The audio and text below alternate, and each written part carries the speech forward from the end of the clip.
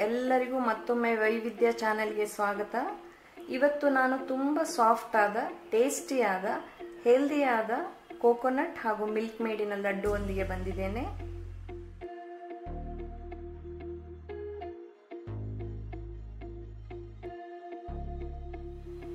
ಈಗ ನಾವು milk made coconut laddu ಮಾಡೋದು ಹೇಗೆ ಅಂತ ನೋಡೋಣ. ಇದಕ್ಕೆ ನಾನು ದಪ್ಪ ತಳದ ಪಾತ್ರನ ತಗೊಂಡಿದ್ದೇನೆ.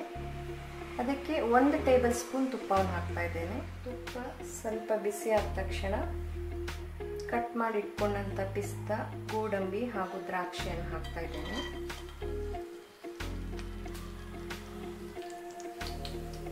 ಇದು ಸ್ವಲ್ಪ ಗೋಡಂಬಿ ಎಲ್ಲ ಹುರಿದ ತಕ್ಷಣ ಒಂದು ಕಪ್ ಫ್ರೆಶ್ ತೆಂಗಿನಕಾಯಿ ತುರಿಯನ್ನು ಇದಕ್ಕೆ ಹಾಕೋಣ.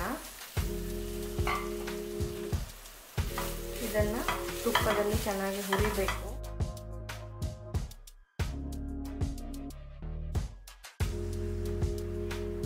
ಇದಕ್ಕೆ ಕಾಲು ಚಮಚ ಏಲಕ್ಕಿ ಪೌಡ್ರನ್ನು ಹಾಕೊಳ್ಳೋಣ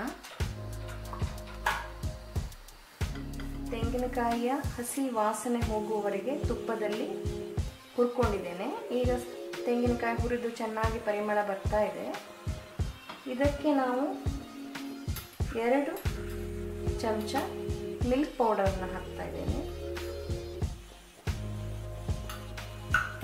ಹಾಗೆ ಇದಕ್ಕೆ ಮೂರು ಚಮಚ ಅಥವಾ ನಾಲ್ಕು ಚಮಚ ನಿಮಗೆ ರುಚಿಗೆ ತಕ್ಕಷ್ಟು ಎಷ್ಟು ಬೇಕೋ ಸಿಹಿ ಜಾಸ್ತಿ ಬೇಕಿದ್ರೆ ನಾಲ್ಕು ಚಮಚ ಹಾಕ್ಕೊಳ್ಬೋದು ಮಿಲ್ಕ್ ಮೇಡನ್ನು ಹಾಕ್ತಾ ಇದ್ದೇನೆ.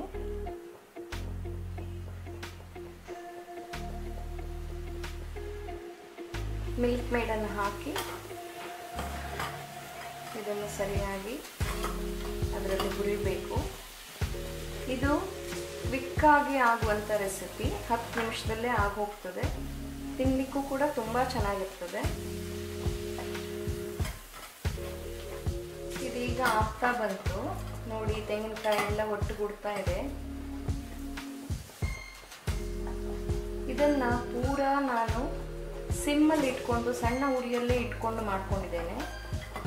ತುಂಬ ದೊಡ್ಡ ಉರಿ ಏನು ಮಾಡಿಕೊಂಡ್ರೆ ತೆಂಗಿನಕಾಯಿ ಸೀದು ಹೋಗ್ತದೆ. ಈಗ ಇದಾಯಿತು. ಇದನ್ನೀಗ ತಣಿಲಿಕ್ಕೆ ಒಂದು ಐದು ನಿಮಿಷ ಬಿಡೋಣ. ತೆಂಗಿನಕಾಯಿ ಹಾಗೂ ಮಿಲ್ಕ್ ಮೇಡಿನ ಮಿಶ್ರಣ ಈಗ ತಣಿದಿದೆ ಇದನ್ನು ಕೈಗೆ ಸ್ವಲ್ಪ ತುಪ್ಪವನ್ನು ಹಚ್ಕೊಂಡು ಉಂಡೆ ಮಾಡಿಕೊಡೋಣ. ಕೈಗೆ ಸ್ವಲ್ಪ ತುಪ್ಪವನ್ನು ಹಚ್ಕೊಂಡಿದ್ದೀನಿ. ಈಗ ಇದನ್ನು ನಾವು ಉಂಡೆ ಮಾಡ್ಕೊಳ್ಳೋಣ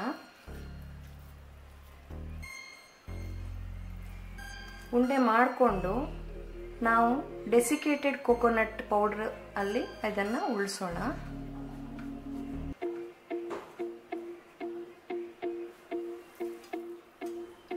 ಉಂಡೆಗಳನ್ನು ಮಾಡ್ಕೊಂಡು ಈ ಥರ ಎಲ್ಲ ಡೆಸಿಕೇಟೆಡ್ ಕೋಕೋನಟ್ಟಲ್ಲಿ ಉರುಳಿಸಿ ಇಟ್ಕೊಳ್ಳೋಣ. ಹಾಗೆ ಹೊಸದಾಗಿ ನನ್ನ ಚಾನಲನ್ನು ಯಾರು ನೋಡ್ತಾ ಇದ್ದೀರೋ ಅವರೆಲ್ಲ ಸಬ್ಸ್ಕ್ರೈಬ್ ಮಾಡ್ಕೊಳ್ಳಿ.